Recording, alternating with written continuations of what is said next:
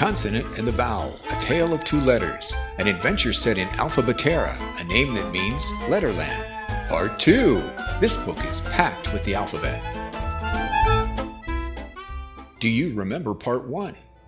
There were no words in Alphabeterra. A giant forest of empty pages stood between the consonants in the east and the vowels in the west. But then, Upton the vowel said, It is time to explore the forest.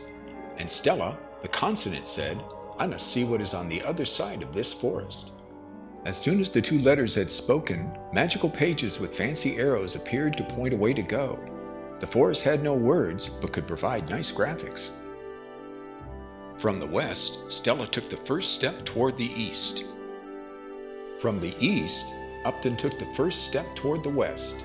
Every journey begins with a single step. They walked right into the forest and followed the path of arrows as it twisted and turned and led them out of sight.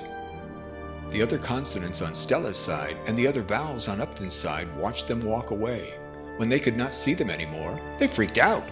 What if they got lost? They were important members of the alphabet. Luckily, Quintessa of the consonants had an idea.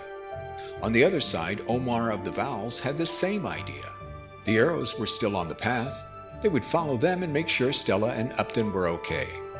Before anyone could say no, Omar and Quintessa said, Hurry up while the arrows are still fresh.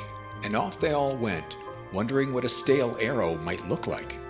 Actually, magical arrow pages don't go stale. They're magical. Have you ever seen a stale unicorn? What happens next? You'll have to wait for part 3, but we can tell you there will be cool special effects, an awesome ending we dare not show you yet.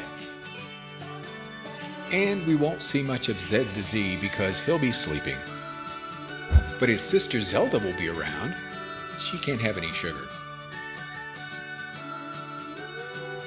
Thanks for watching.